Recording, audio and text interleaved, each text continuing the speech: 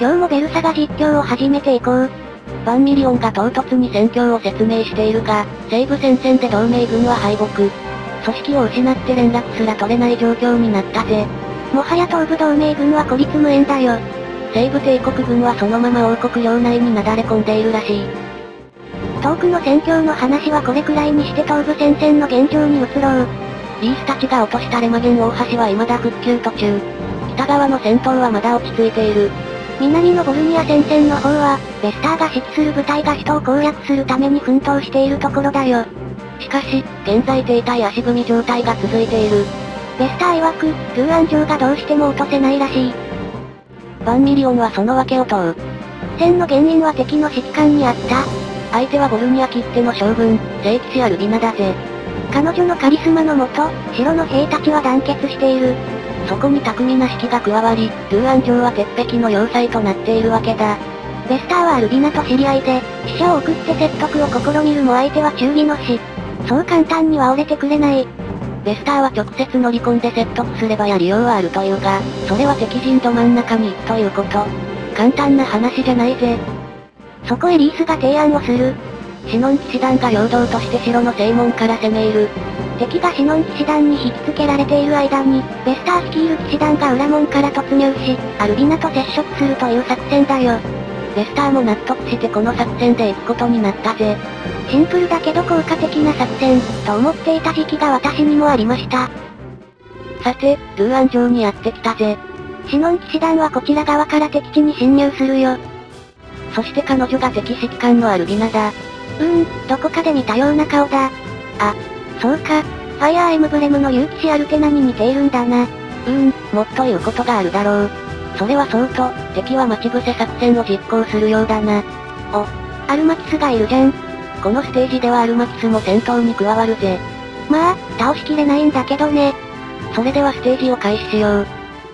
このステージだが、いきなり橋の先にネームドが3人、その奥に1人としょっぱなからネームドキャラ祭りだぜ。さらにランスナイトが2人と、城壁の奥にラーズ神官が控えているよ。この配置が実に嫌らしい。敵は動いてこないからこっちから撃って出るしかない。となると、必然的に斧騎士と戦うことになるのだが、こいつらはとても硬い。まともにダメージは通らず、わずかなダメージしか与えられない。さらに城壁の向こう側にいるラーズ神官が即座に回復させてくる。せっかく与えたダメージが水の泡になるよ。あと、橋の一番向こう側にユニットを置くと、ランスナイトに串刺しにされるぜ。旧兵と馬旧兵も厄介な敵だよ。どっちもスナイプアローを持っているから、平気で命中率100%の攻撃をしてくるぜ。橋の奥にいる旧兵は号泣を持っているから、橋の上が丸々射程範囲に入る。そして、奥の馬旧兵は連射を持っているので、大抵のキャラは一撃で死亡するぜ。こんなんやってられませんわ。敵は動かないから時間をかければ脅威でも何でもないんだが、5ターン後にマップの反対側に登場するベスターを援護するために、どうしても急ぐ必要がある。縄文にたどり着く前に何度もやり直して絶望したよ。で、この関門を突破するために何をするのがいいかというと、ラレンティアさんを使ってラーズ神官を倒すぜ。移動先に気を使っているよね。これは移動先が陸地寄りだと、馬急兵に撃たれるからだぜ。1手1手に気が抜けないよ。無事に2ターン目に到達。他のキャラはほとんど動いていないね。余計なことはしなくていいから、ここでラーズ神官を攻撃するぜ。当たるかどうかのヒヤヒヤタイム。はい、これでラーズ神官撃破。ヒーラーから倒すのは定石。安心してもこの場に留まってはいけない。バリスタの攻撃範囲に入っているからね。ここはバリスタに近づいて射程範囲から外れよう。このまま先に進むこともできるけど、ラレンティアさん一人で敵地に行くのは自殺行為だよ。それで次にやることは斧騎士の始末。斧騎士は絶対に騎兵かバリスタで攻撃しないといけないよ。近接攻撃してその場で行動終了しようものなら、ランスで串刺しにされるぜ。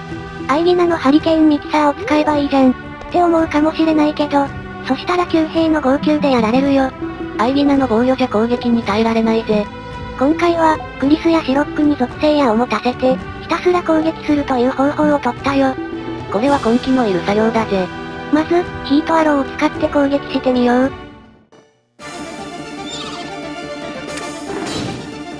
はい、与えたダメージはたったの1でした。ヒートアローじゃこんなもんだよ。攻撃した後は、旧兵に撃たれないように交代するぜ。次はシロックさんで攻撃するよ。使うやは雷神の矢だぜ。属性攻撃が7あるから、ヒートアローよりもずんと高いダメージを叩き出してくれるよ。ヒートアローの1ダメージと比べる時点であかんと思うのだが。はいクソ二度とやらんわこんなクソゲー。でも結局遊んじゃうんだよななんじゃそりゃ。シロックさんでリベンジだよ。今度は当たるといいな。うおー、神ってる。高確率で縦防御してくるダンファーにダイレクトヒットだぜ。これで前の失敗を取り返せたよ。4ターン目、シロックさんで再び攻撃するよ。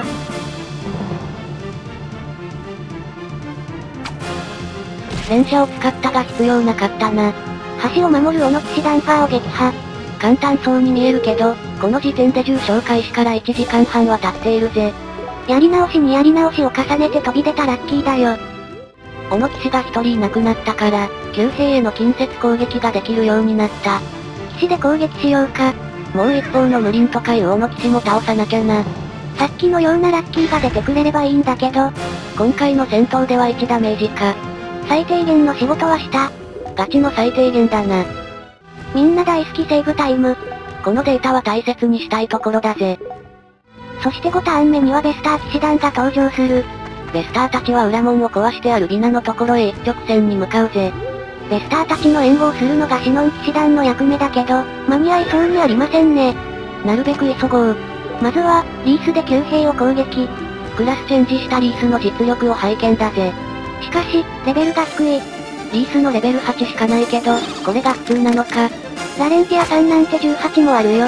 おお、もう。主人公なのに出番が少ないのが悪いんじゃ。さて、一方裏門ではベスター騎士団が縄文を壊しにかかるぜ。ベスター、待ってくれ。まだこっちは準備できてないんだ。と言っても、ベスターたちはお構いなしに縄文を破壊して侵入するぜ。ベスター、スタンドプレイに走るな。ベスターたちに追いつこうとする気持ちがミスを呼ぶ。城の方に待機していたラレンティアさんを使って旧兵を攻撃。攻撃は見事に命中するけど、この後問題が。再移動の目測を間違えてたぜ。この距離は危険な距離。ああ、来ちゃったよ。レスターはバカみたいな威力かける2という、絶望的な攻撃を仕掛けてくるぜ。やべえ、やべえよ。おお、ギリギリ耐えた。耐えてませんでしたそんな、戦闘不能に。ドラゴンナイトを捉えるランスナイトの図。一体どうやって空飛ぶドラゴンを捕まえたんだ？仕方ないからやり直すことにしたぜ。ラレンティアさんがいないとこのステージはかなり厳しいよ。気を取り直してもう一度リースで旧兵を攻撃。おお、致命攻撃が出たよ。6%だったのに相変わらずよく出る。旧兵はリースでとどめを誘う。もちろん、同時に小野騎士にも攻撃を仕掛けていくぜ。シロックさんには頑張ってもらうよ。6ターン目、リースで旧兵にとどめを刺すぜ。不安な命中率。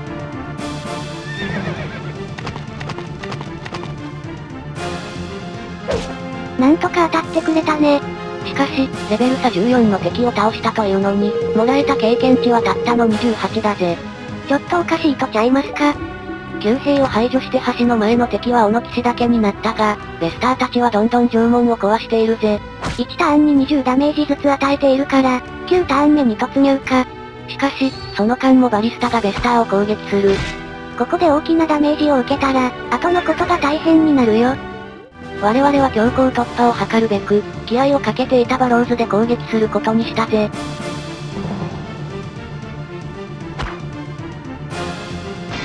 無輪の残り HP は9。シロックの攻撃が当たれば倒せるな。というわけですかさずシロックさんで攻撃。これで橋の先にいる敵は全滅だぜ。さて、次はランスナイトと馬級兵の対処だね。考えなしに突っ込んだらやられるからな。慎重に行こう。まずは、ランスナイトの突撃に備えて、シロックさんを射撃待機にするよ。うまく機能してくれればいいんだが。ベスターは相変わらずバリスタに狙われているよ。もうちょっと頑張って避けてくれ。ランスナイト攻略にはラレンティアさんも使いたい。だが、先ほどのように馬急兵のレスターにやられるかもしれない。だから、レスターには少しよそへ行ってもらうよ。このようにレオンさんをおとりにして、レスターのポジションを変えることにするぜ。狙い通りレスターはレオンさんに食いついたよ。しかも連射を使ってこないとは。一か八かの賭けと思っていたのに、余裕のよっちゃんですわ。当然レオンさんはやられることなく。レスターは橋から離れてくれたぜ。ランスナイトをおびき寄せるためにリースを移動させるよ。不退転の決意だぜ。ランスナイトの片方はシロックさんの射撃待機で足止めできる。